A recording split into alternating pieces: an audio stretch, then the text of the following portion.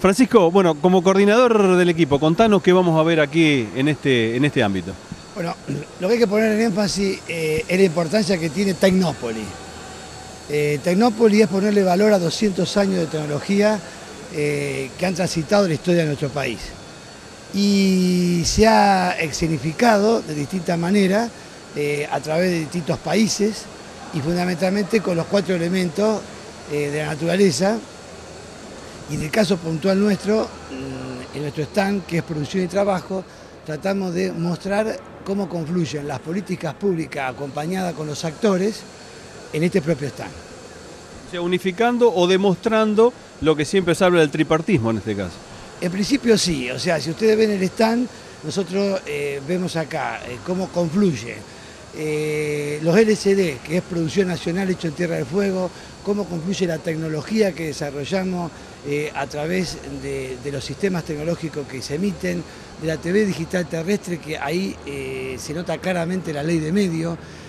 En definitiva, cómo esa TV digital terrestre termina siendo plataforma de lanzamiento de medios, de la nueva ley de medios y los actores, el Estado, en este caso que es el principal promotor, los empresarios y los sindicatos acompañan. Un caso particular aquí en este stand es que sindicatos como el de la televisión y de la Unión Obrera Metalúrgica son actores principales que van trazando la columna vertebral de la ejecución de las políticas que el Estado eh, va llevando adelante, fundamentalmente con lo que tiene que ver la tecnología y la innovación.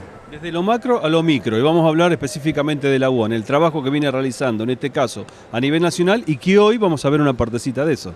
Nosotros creemos que la UON ha hecho un salto eh, no solamente cuantitativo por la cantidad de centros que ha desarrollado a nivel del país, sino que cualitativo. ¿Por qué cualitativo? Cuanti, bueno, ya los vemos, tenemos casi 15 centros fortalecidos en este último año con un plan que se ha firmado con la Casa de Gobierno, fundamentalmente con la Presidenta, donde se fortalecen 15 centros en todo el país, pero cualitativo porque aparte de tener los oficios tradicionales, eh, estamos trabajando en todos los centros de capacitación, en todo lo que tiene que ver con la automatización y el control, con hidráulica, con neumática y con un elemento que está atravesando no solamente a la industria metalmecánica y a la siderúrgica, sino a todos los segmentos que desarrollan la economía del país, que es la electrónica.